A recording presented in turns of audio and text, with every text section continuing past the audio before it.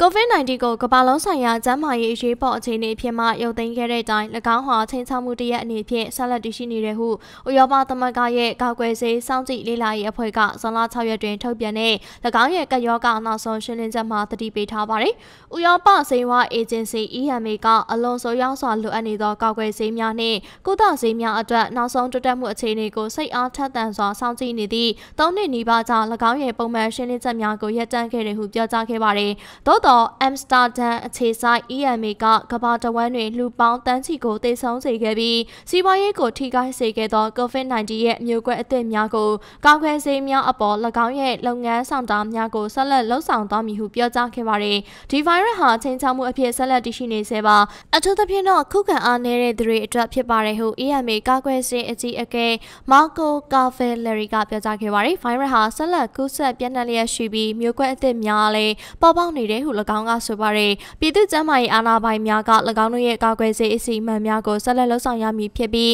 အထူးသဖြင့်ဆောင်းရာသီတွင်ဖြစ်သည်ဟုကယ်ဖယ်လာရီကထပ်မံပြောကြားခဲ့ပါတယ်။သို့တော်လည်း COVID-19 ကာကွယ်ဆေးများဟာလူအများအားဆေးရုံတရကုသရတဲ့အခြေအနေမှာကာကွယ်ပေးထားပြီးအသက်များကိုကယ်တင်နိုင်တယ်ဟု၎င်းကခုခံပြောကြားခဲ့ပါတယ်။ EMA အမှုဆောင်ညွှန်ကြားရေးမှူးအီမာကုကဥရောပရဲ့သမိုင်းတွင်အကြီးမားဆုံးကာကွယ်ဆေးထိုးနှံမှုအစီအစဉ်ကိုအကောင့်ထဲပေါ်နိုင်တဲ့၎င်းအေဂျင်စီရဲ့ဆောင်ရွက်မှုကိုချီးကျူးပြောကြားခဲ့ပါတယ်။ ခမန်းချီပြောရမယ်ဆိုရင်ကယောဂရဲ့ပထမနှစ်ထဲမှာ COVID-19 ကာကွယ်ဆေးကလူသန်း20ဝန်းကျင်ရဲ့အသက်ကိုကယ်တင်ရမှာအထောက်အကူဖြစ်ခဲ့ပါတယ်ဟု၎င်းကပြောကြားပါတယ်။ COVID-19 ကယောဂဟာကမ္ဘာလုံးဆိုင်ရာကျန်းမာရေးအရေးပေါ်အခြေအနေမဟုတ်တော့ဘဲ WHO ကမေလ9ရက်တွင်ထုတ်ပြန်ကြေညာခဲ့ပါတယ်။သဘောတူညီခဲ့ပြီး COVID-19 ကယောဂရဲ့ကာလကြာရှည်စီမံခန့်ခွဲမှုပုံစံကိုပြောင်းလဲရန်အချိန်ကြာပြီဖြစ်ကြောင်းအကြံပြုခဲ့ပြီးနောက်၎င်းကဲ့သို့ထုတ်ပြန်ကြေညာခဲ့ခြင်းဖြစ်ပါတယ်။သို့တော်အနေအများ ပြီးဆုံးမသွားသေးကြောင်း WHO အကြီးအကဲ Testro Adhanom Ghebreyesus ကပြောကြားခဲ့ပြီးကိုဗစ်ကြောင့်